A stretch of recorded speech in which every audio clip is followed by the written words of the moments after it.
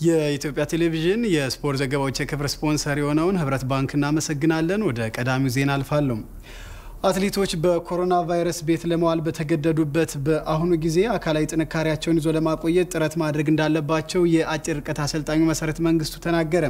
በሳምንት ቢያንስ አንድ ጊዜ የቴክኒክ ልምምድን መስራት እንዳለባቸውና የአመጋገብ ስርዓታቸውንም መጠንቀቅ እንዳለባቸው አሰልጣኙ መክሯል። ተጨማሪውን አብረን ከአሰልጣኙ አንደበት እንከታተል። አንደኛው የጥንካሬ ብቃት መቆየት አለበት፣ ተይዞ መቆየት አለበት። የ power የምንጨቃ የ plyometrics power ከጂምናዚየም ጋር ተያያዥነት ያላቸው ከዝላይ ጋር ተያያዥነት ያላቸው ነገሮች በ bounding እንደዚህ የሚሰሯቸው ስራዎች አሉ። እነዚህ እነዚህ መቆየት አለባቸው፣ ተይዘው መቆየት ምንም እንደ off season ቢሆንም maintain መደረግ አለበት ማለት ነው። እንዳለ መቆየት አለበት ብቃቱ። ከሱ ጋር ተያይዞ ከዚህ ባልተናነሰ core stability የሚባል ስራ አለ። ምን ማለት ነው? የወገብ ጡንቻ፣ የሆድ ጡንቻ፣ ጎን ላይ ያለ ጡንቻ ለሩጫው የሩጫውን እግር የሩጫውን እጅ በትክክል ተሸክሞት የሚሄደው እሱ ስለሆነ ማለት ነው። የ core stability ስራዎች በጣም መሰራት አለባቸው። እነዚህ ቁልፍ ሆነው ከሱ ጋር በተጨማሪነት ግን አጋዥ የሚሆኑት ቅድም እንዳልኩት በሳምንት ቢያንስ አንድ ጊዜ የቴክኒክ ስራ ጎማ በመጠቀም ሊሆን ይችላል። ይሄ harness የሚሉት አለ እነሱ elastic harness፣ elastic band፣ እንደገና ደግሞ ላደር መሰላሎች ምድር ላይ የሚሰሩ በገመድ ሊሰሩ ይችላሉ በቀላሉ እነዚያን መሰናክሎች በመጠቀም ሊሆን ይችላል። ቴክኒክ ነገሮችን እንደዚህ እየሰሩ የማቆየቱ ስራ መሰራት አለበት። በጣም አስፈላጊው ሌላኛው ሶስተኛው የትንፋሽ ብርታት የሚባለው ነው።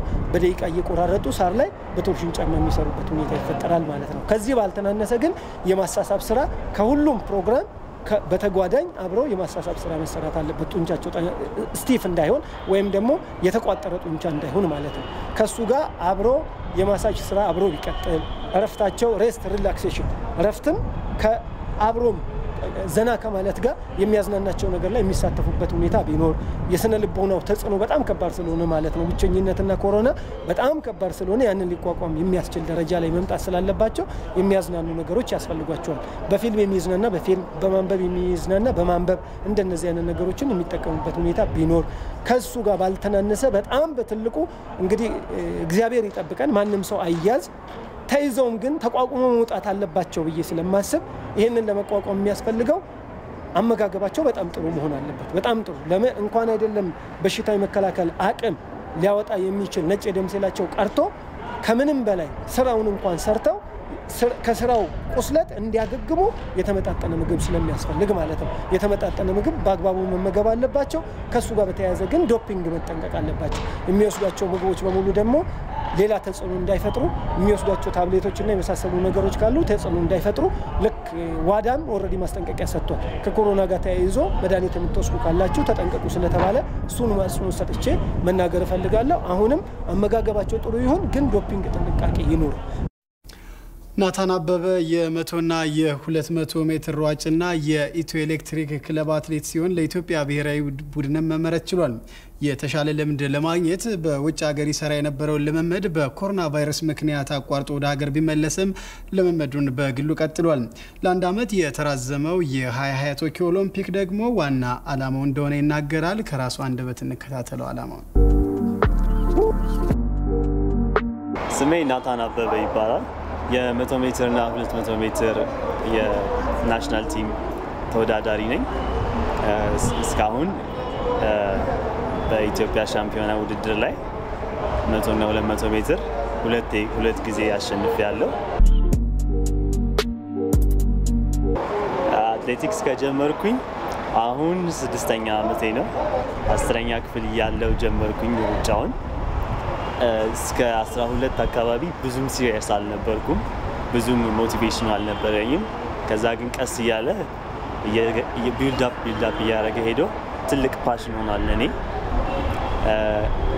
ዩኒቨርሲቲ ከገባሁ በኋላ የመጀመሪያው ዓመት ላይ ወደ ኤልፓ ኤሌክትሪክ ኢትዮ ኤሌክትሪክ ክለብ ገባሁ። ሁለተኛው ዓመት ላይ ነው ውጤት ማምጣት የጀመርኩት የኢትዮጵያ ውድድሮች ላይ።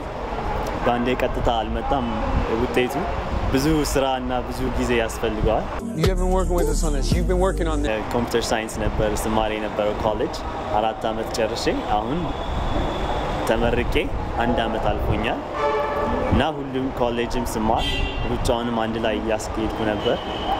ያው ይከብዳል፣ ግን ይቻላል። አሁን ያለፈው ስድስት ወር ውጪ ሄጄ እየሰራው ነበረ ሩጫውን የተሻሉ ኮቾች እና የተሻሉ ትሬነሮች ጋር ሄጄ እየሰራው ነበረ። ትልቅ ለውጥ እያየው ነበረ። ከዛ ግን ያው እንደምታውቁት ኮሮና በመምጣቱ ምክንያት ብዙ ብዙ ነገሮች ተሰርዘዋል ወይም ፖስፖን ተደርገዋል እና ይህን ውጤት የሰራሁትን እንትን ላየው አልቻልኩም። ግን ያው እንደምታውቁት መታገስ ነው የሚያስፈልገው። ይሄ ነገር ካለፈ በኋላ እንደገና መቀጠል ይሆናል ስራውን።? በዚህ ኮሮና ወቅት ራሳችን እዛው ሰፈራችን ቢሆን ቤታችን አካባቢ ከሰው ጋር እስካልተቀራረብን ድረስ መስራት እንችላለን። እኔ ለምሳሌ ውጪ ሰፈሬ ሄጄ ሩጫ ሰራለሁ። ሳር አለ፣ አስፋልትም አለ፣ ዳገት አለ፣ እዛ ሰራለሁ። የእኔ ዓላማ የ2021 Olympics ቶኪዮ Olympics ለመሳተፍ ከሱም ቀጥሎ የ2022 World Championships ን መሳተፍ ፈልጋለሁ። እሱ ነው የኔ ዓላማ። ወደ ውጭ ዘገባዎች አለፍን።